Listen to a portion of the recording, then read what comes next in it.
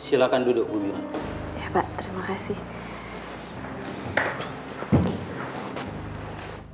Sebelum kasus Bu Mira dilimpahkan ke pengadilan, saya ingin memastikan sekali lagi.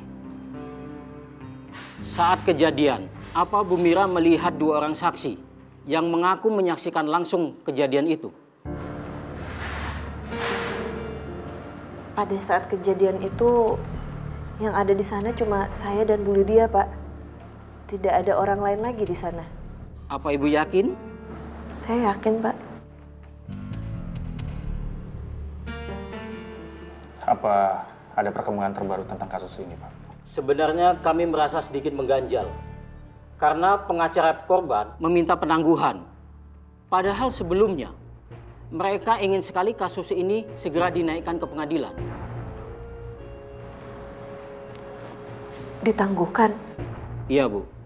Ada beberapa alasan yang harus kami kembangkan dalam penyidikan ini.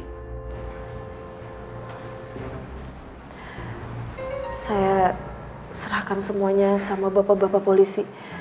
Saya yakin pasti bapak akan melakukan yang terbaik untuk kasus ini. Baik, kalau begitu Bu Mira bisa kembali ke ruang tahanan lagi. Ibu, tolong bawa Ibu Mira ke ruang tahanan. Baik, Pak.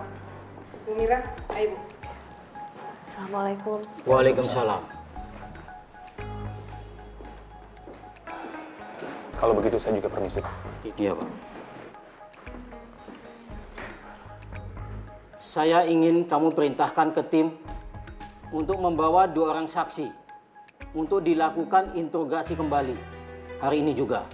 Dan saya akan menghubungi pengacara korban untuk menginformasikan hal ini. Siap, Nat.